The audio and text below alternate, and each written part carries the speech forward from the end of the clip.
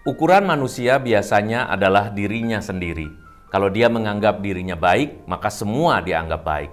Bahkan di dalam dunia ini, kalau orang sudah merasa bahwa dia paling benar, maka urusan, perkataan, keputusan, atau ide-ide dari orang lain akan dianggap sebagai sesuatu yang tidak betul. Mari kita membahas mengenai kejahatan di dalam diri kita. Apakah benar kita bisa berbuat jahat? Dan apakah sebagai orang yang beriman, kita bisa melakukan kejahatan? Tentu saja bisa. Siapa pun di atas dunia ini, selama dia masih manusia, maka dia bisa melakukan kejahatan atau sesuatu yang salah. Mari kita baca dari Matius 12 ayat 35. Orang yang baik mengeluarkan hal-hal yang baik dari perbendaharaannya yang baik, dan orang yang jahat mengeluarkan hal-hal yang jahat dari perbendaharaannya yang jahat. Kalimat ini seolah-olah mengatakan kepada kita bahwa kejahatan itu dari sananya sudah ada, dan juga kebaikan dari sananya sudah ada. Tetapi yang benar adalah bahwa keduanya diberikan Tuhan kepada kita baik kebaikan maupun kecenderungan kepada kebebasan untuk melakukan banyak hal. Tuhan tidak pernah memberikan kita kejahatan, tetapi Dia membebaskan kita, bahkan jatuh dalam keinginan atas kebutuhan-kebutuhan kita. Pertama, mari kita belajar mengenai kehendak bebas. Apa itu kehendak bebas? Kehendak bebas itu dianugerahkan Allah kepada manusia, dan karena kualitas dan keunikan manusia itu satu sama lain berbeda, maka cara perwujudannya juga sangat berbeda satu dengan yang lain. Kadang-kadang mirip, tetapi sering kali kita satu sama lain bisa berseberangan atau bahkan berbeda dan saling melengkapi. Dan harus kita ingat, kita juga mempunyai kebutuhan yang akan menentukan kebebasan dan juga kehendak kita kita juga mempunyai kecenderungan untuk tidak dapat menguasai diri kita. Makanya, ketika kita tidak mampu menguasai itulah kita bisa melakukan sesuatu yang jahat. Kalau kita lihat dari kitab Kejadian 1 28 dikatakan, Allah memberkati mereka, lalu Allah berfirman kepada mereka, "Beranak cucu dan bertambah banyak, penuhilah dan taklukkanlah itu, berkuasalah atas ikan-ikan di laut dan burung-burung di udara." dan atas segala binatang yang merayap di bumi.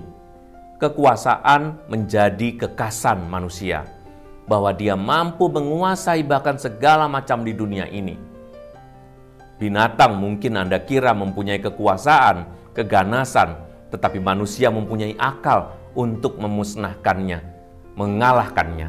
Jadi, kita bisa lebih hebat dari binatang-binatang. Kehendak bebas itu adalah kehendak atau kemauan kita dan itu biasanya adalah suatu harapan yang keras yang harus diwujudkan. Dan kalau kita mempunyai kehendak bebas untuk makan, maka karena kehendak itu kuat, keras, maka kita juga akan segera mengambil makanan dan berproses ke arah makan itu. Kehendak bebas disebut bebas karena tidak dipengaruhi oleh orang lain. Sepertinya kita ini dipengaruhi oleh orang lain ya, karena kita takut, karena kita malu, tetapi di luar itu semua, ketika kita sendiri, kita dapat melakukan apa saja yang kita kehendaki. Termasuk juga melakukan misalnya di dunia maya, mengkomentari ini, mengkomentari itu, melakukan uh, misalnya manipulasi-manipulasi atau edit-edit dan sebagainya yang bisa kita lakukan secara bebas. Itu mungkin salah satu bentuk perwujudan dari kehendak bebas. Kalau menurut ilmunya, menurut Williamson tahun 2006 mengatakan, kehendak merupakan kemampuan jiwa dan kepribadian manusia. Kehendak ditentukan oleh jiwa, kesadaran diri, ego, atau kepribadian manusia. Kehendak tidak bisa menyimpang dari karakter moral yang menjadi sumbernya. Jika jiwanya telah tercemar secara total, sehingga pengetahuan dan keinginan pun menyimpang dan rusak, maka selanjutnya kehendak yang ada adalah selalu untuk melakukan hal yang jahat. Kalimat ini cuma mau mengatakan bahwa kita ini punya kecenderungan yang jahat. Betapapun sucinya kita, betapapun iman kita kuat, kita tetap akan mempunyai kecenderungan kepada yang jahat. Manusia sejak dahulu bisa jatuh ke dalam dosa. Bahkan kalau dikisahkan dari kitab kejadian, Mulai dari Adam pun sudah melakukan kejahatan yang pertama dengan melawan kehendak Tuhan. Maka Paulus mengatakan dalam Roma 3 ayat 23, semua orang telah berbuat dosa dan telah kehilangan kemuliaan Allah. Artinya, kita semua punya kecenderungan kehilangan kemuliaan Allah itu. Kehendak bebas memang untuk membantu kita menentukan siapa diri kita, mengaktualisasikan diri kita, dan bisa membuat kita bahagia. Tetapi kalau itu melawan kehendak Tuhan, berarti juga merugikan kehidupan bersama, maka akan menjadi dosa dan merugikan diri kita sendiri karena kita jadi jauh dengan Allah. Kunci yang bisa kita dapatkan adalah kalau kita mengurusi hati nurani kita. Kejahatan hanya bisa dilawan oleh hati nurani Hati nurani memegang komando utama dalam menentukan apa pun yang dilakukan.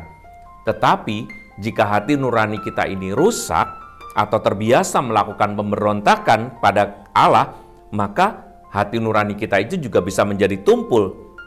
Kemampuan berpikir, kemampuan merasa juga bisa menjadi alat untuk menentukan perbuatan-perbuatan kita, apakah baik atau apakah buruk. Orang-orang yang tidak mempunyai kemampuan untuk berpikir, dia bisa berbuat jahat tanpa dia sendiri menyadarinya. Orang-orang yang tanpa pengetahuan, dia bisa melakukan hal yang salah, tetapi dia tidak merasa bersalah karena tidak punya pengetahuan. Begitu juga orang yang sudah mematikan hati dan emosinya, mungkin karena luka di dalam batinnya, dia juga bisa melakukan kesalahan tanpa merasa bersalah.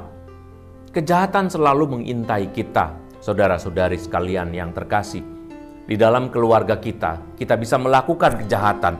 Betapapun baiknya kita diciptakan oleh Tuhan, tetapi kita selalu dihantui oleh kejahatan itu.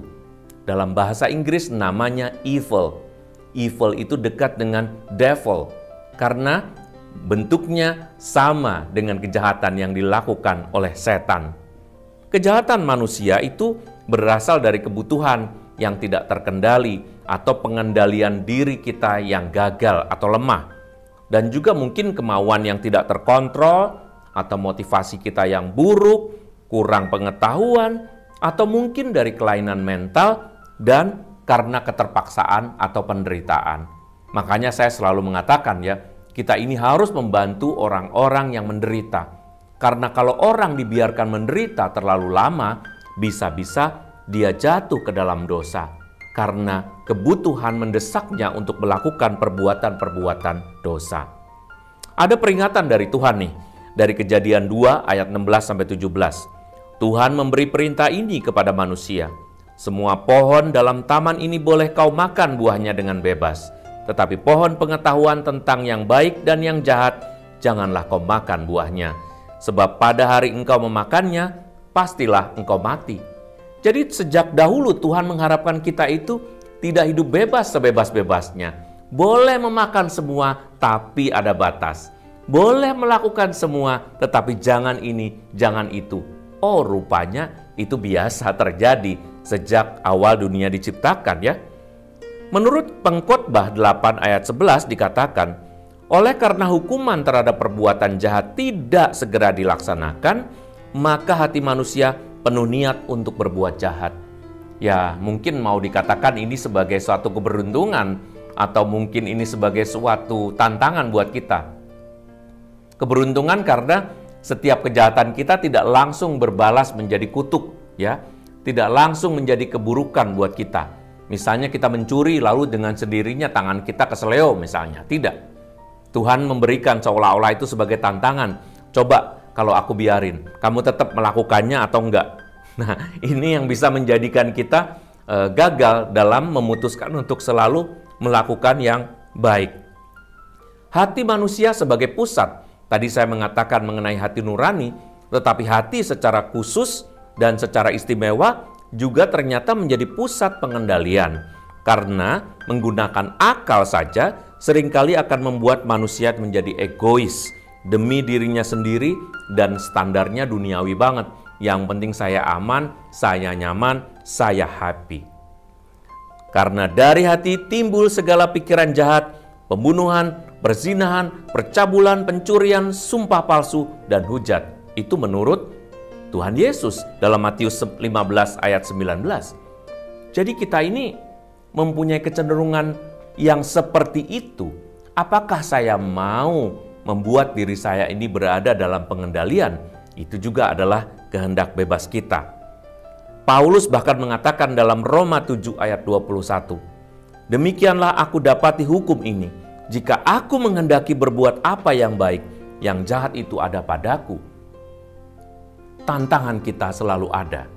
Bapak Ibu, sebagai suami, sebagai istri, Anda juga ditantang untuk memilih segala sesuatu yang baik-baik saja.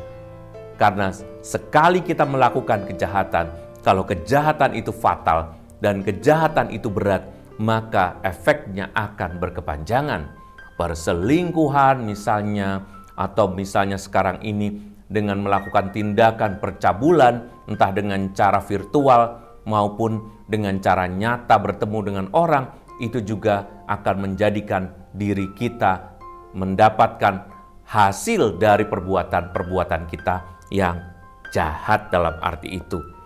Maka marilah kita bersama mengusahakan agar diri kita ini selalu bebas dari kejahatan dengan cara mengerti bagaimana pikiran kita mengatur kita untuk selalu melakukan yang baik.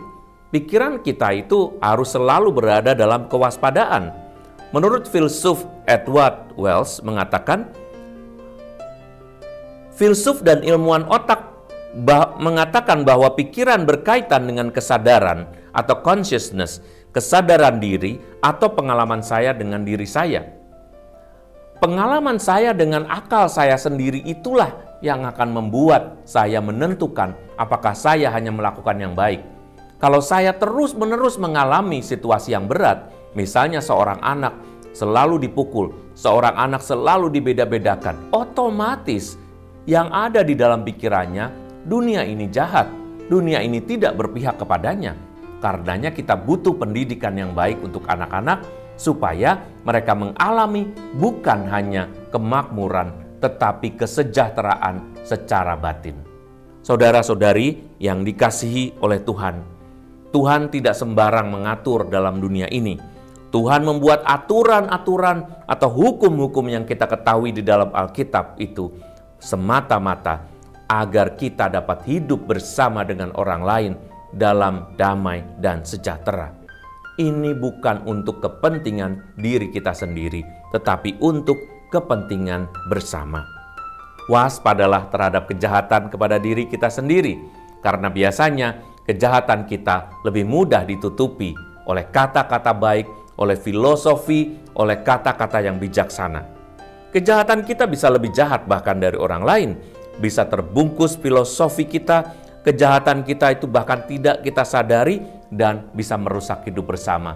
Semoga hari ini kita melakukan hal yang baik di dalam keluarga, di dalam pekerjaan, dalam pergaulan kita dengan siapa saja. Karena Tuhan menciptakan kita pada hakikatnya baik. Tuhan memberkati, sampai jumpa dalam tema selanjutnya.